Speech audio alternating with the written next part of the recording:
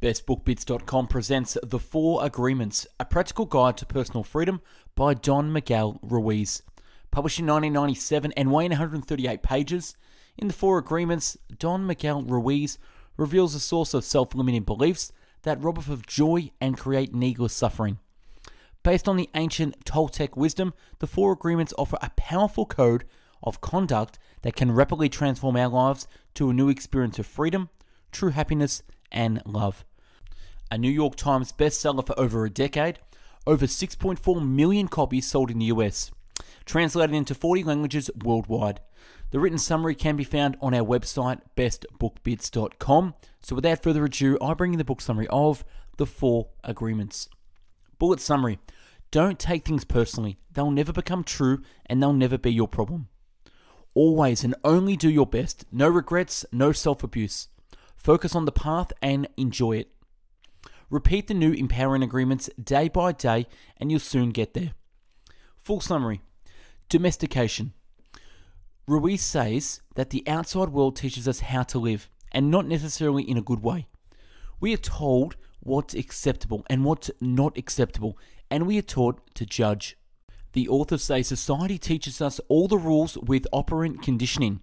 You will get a punishment when you will be bad and flaunt the rules, and you will get a reward when you obey. Good boy. The reward is subtly pernicious because it teaches us to act for the reward itself instead than finding pleasure in the action. The fear of punishment instead becomes the fear of not being good enough. And with both punishment and rewards, we learn to wear a mask to please others. Looking at the pyramid, you will see that your self esteem stems from your behavior, then stems from your identity, with things pulling you from ideals, religion, school, and proper behavior. Then you look at parents, workplace, society, and heroes. The author says our biggest fear is not death. Our biggest fear is not death. It's being alive in the most powerful sense of the word. Being and showing our real selves. Ruiz says that to find personal joy, you have to break all those society imposed fear based agreements which are currently tying you down. And he proposes four agreements that will help you doing just that. Number one, be impeccable with your word. Ruiz says that your word is the power coming directly from God. Impeccable derives from Latin and means without sin. Impeccable with your word means you don't use words to speak ill of yourself or others. It's important that it goes both ways, both outwardly and inwardly. You must stop entertaining negative thoughts about yourself. Albert Ellis recommends you screen out negative thoughts, and you must equally stop spreading bad gossip about others and it also ranges from the small things to the big ones. The author makes the example of black magic box.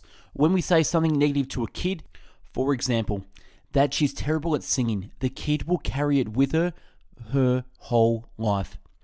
Albert, he doesn't call it that way. The author also makes use of the concept of karma. What you put out, you get back. What you put out, you get back. And number two, don't take anything personally. During our domestication, we learn to take everything personally, says Ruiz. Everything is about me, me, me.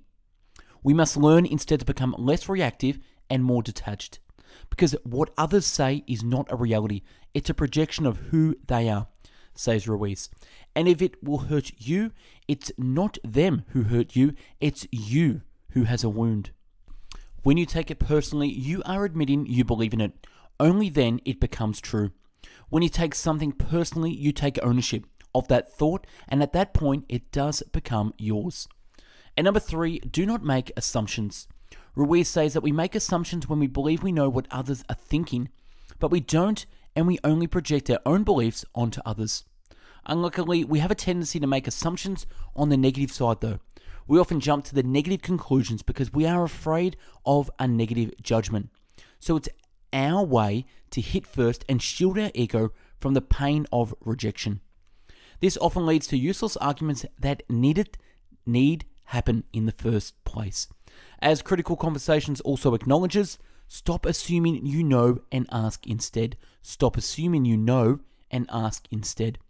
And even when you're on different opinions, similar to Dale Carnegie, the author also recommends you avoid arguing to be right and respect the other point of view instead.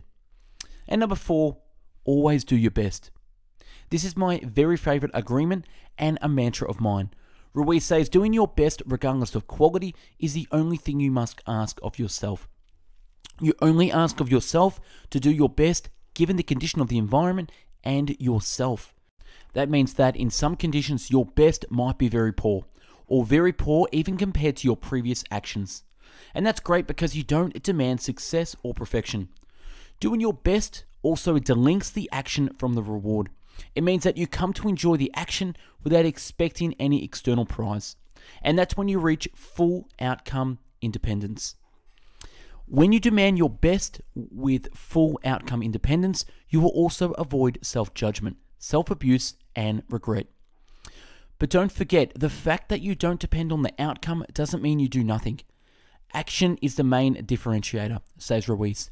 Stick to doing your best, and your personal improvement and transformation will become an obvious consequence. The fourth agreement allows you to practice and make all of the other agreements become a habit. When you fail to implement an agreement, don't sweat it. It's okay. Start again and then again until it becomes ingrained in who you are. And number five, breaking old agreements. Ruiz says to break old agreements holding us back, we'll have a few options. Attack the fears one by one. Stop feeding the fear by stopping to feel the emotion. Symbolic death to kill the parasite within us. Do it even if. The example for the latter is the Who's parents told her she was a very bad singer. She would then tell herself, Fine, I will sing anyway. Spiritual warrior. The warrior knows that he's at war with his mind. Ruiz says the spiritual warrior is the one who controls his emotions instead of the other way around, as for most people. The difference between the warrior and a victim, says the author, is that the victim represses while the warrior reframes. The victim represses because he's afraid of showing his emotion. Reframing instead holds the emotion and expresses it in the right moment. The author says death teaches us how to live. Imagine you had one week to live. Wouldn't you want to live life the way you wanted it? No more you would live to appease others, afraid of what they might think. That's how the angels of death can show you how to live life your own way. They come to you and tell you that everything you have is not really yours, it's theirs, and they can take it at any time. You can use for now, though. And if we listen to the angels of death, we will be forever happy. The angels of death also come and take away our past and make the present possible. It's the parasite within us that clings to the past, making life so heavy. Heed the angels of death. Live how you like and live in the present. Live how you like and live in the present.